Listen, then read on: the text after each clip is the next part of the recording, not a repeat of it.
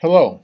In this demonstration I'm going to show how to use the get input from users functions to allow user interaction with your Alice project. You see before you the setup for a scene from the Norwegian folk tale, The Three Billy Goats Gruff. In this scene we have a stone bridge, we have a troll, and we have the billy goat. Also, the statement in which the troll challenges whoever is crossing his bridge has already been added to our project. To create the user interaction, we are going to use the billygoat function get string from user. You will see that this function creates a dialog box with a place for the user to type information. However, to use what the user types in our program, we must add a text string variable. So we find the variable tile, drag it into our editor. We set the type of this variable to be a text string. A text string is just a sequence of characters, numbers and letters and uh, punctuation marks and so forth. We give the variable a name, in this case answer, and then we provide an initial value for our variable, which in this case is just going to be an empty string. I'm not going to type anything and just click OK. Then I can click OK to insert the variable. And we see that the variable answer has been created and it's getting an empty string. I can now take the function getString from user and drag it up into uh, replace my empty string.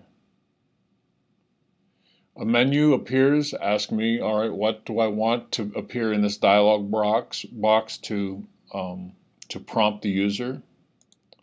And in this case, I'm going to type the phrase, enter your answer here.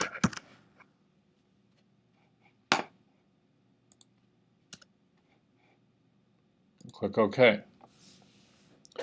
Now if we run this project at this point, we see the troll challenging who's ever crossing his bridge, and then a dialog box appears that allows us to type an answer.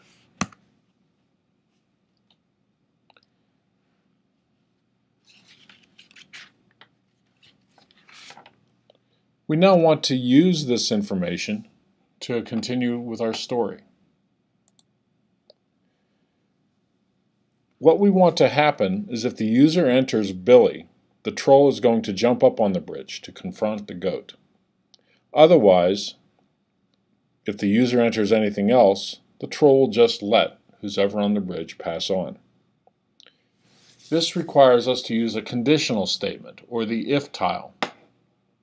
So I grab the if tile and pull it into my editor and select true as just the, the, the placeholder value. Click on true and I now see that I can do a text string compar comparison.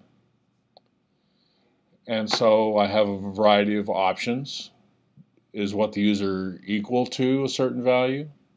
And so forth. And I want to equals ignore case. In other words, it's not going to matter whether the person types Billy with a capital B or a lowercase b. And then I will select answer as the variable that I want to use. And then I will enter the custom text string. And here I will type Billy. So now my if statement looks like if the answer equals ignoring the case, not the answer, but Billy. Looks like we have a little bug there. If that's true, then I'm going to want the troll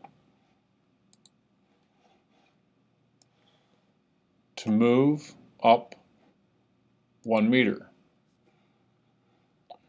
If it's not true, we'll just have the troll say, you may pass on. And set the duration for that for two seconds. Now, when we run our world, Troll challenges the goat. In this case, the goat enters Sam, and the troll says, You may pass on. If I restart the world and I type Billy, and notice I even type it with lowercase b, the troll jumps up on the bridge. I hope this is helpful.